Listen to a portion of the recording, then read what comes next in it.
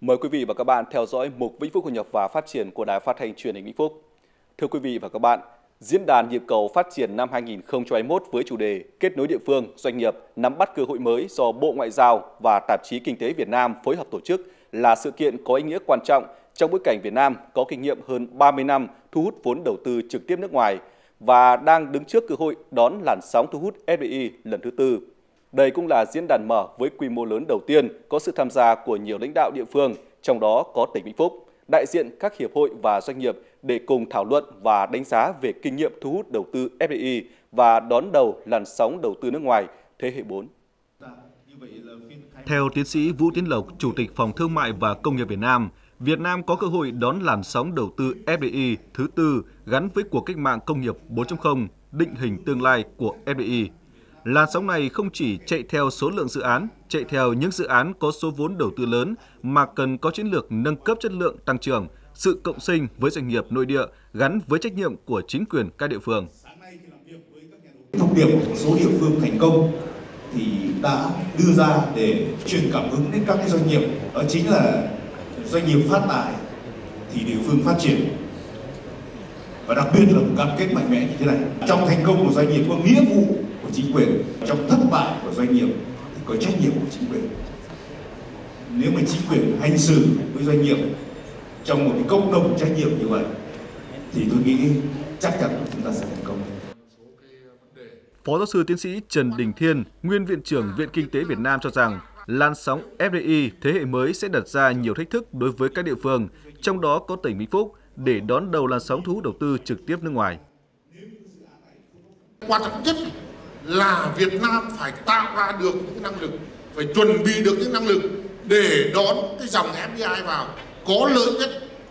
cho cả nhà đầu tư không chỉ cho nhà đầu tư và cho cả Việt Nam.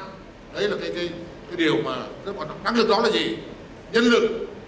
Hiện nay đấy quả thực là một cái vấn đề sống còn. Thứ hai là gì? Kết nối. Bây giờ không phải là chỉ hạ tầng cứng mà cái hạ tầng số, hạ tầng mềm ghê gớm. Việt Nam ta đã có cái gì cho cái chuyện này? Các địa phương đã chuẩn bị cái, cái gì cho cái chuyện này?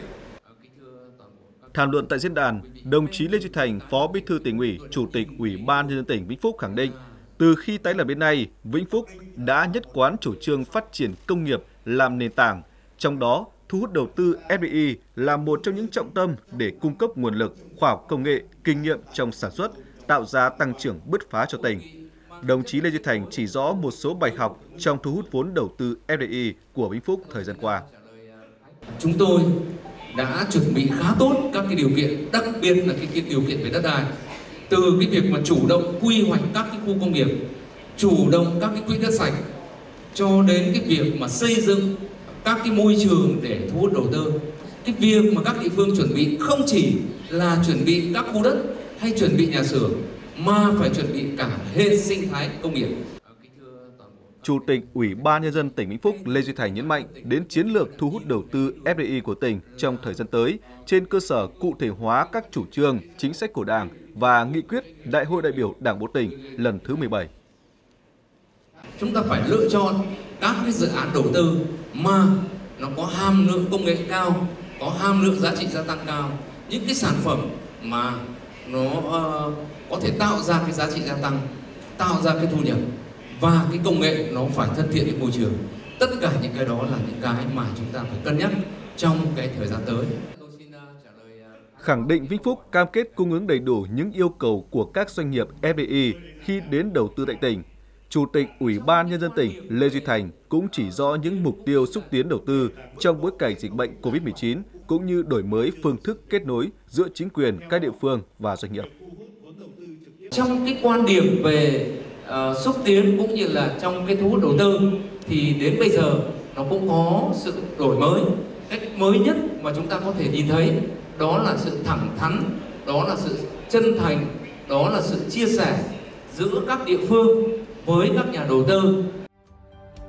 Khu vực FDI chiếm tỷ trọng lớn trong tổng giá trị sản xuất công nghiệp, tổng giá trị xuất khẩu và đóng góp lớn vào ngân sách nhà nước, trở thành một trong những động lực quan trọng thúc đẩy tăng trưởng kinh tế. Tuy nhiên, khu vực đầu tư nước ngoài thời gian qua còn một số hạn chế như mức độ kết nối và lan tỏa đến khu vực đầu tư trong nước còn thấp, thu hút và chuyển giao công nghệ từ FDI đến khu vực đầu tư trong nước vẫn chưa đạt kỳ vọng. Thu hút FDI vào một số ngành, lĩnh vực ưu tiên và từ các tập đoàn đa quốc gia còn hạn chế.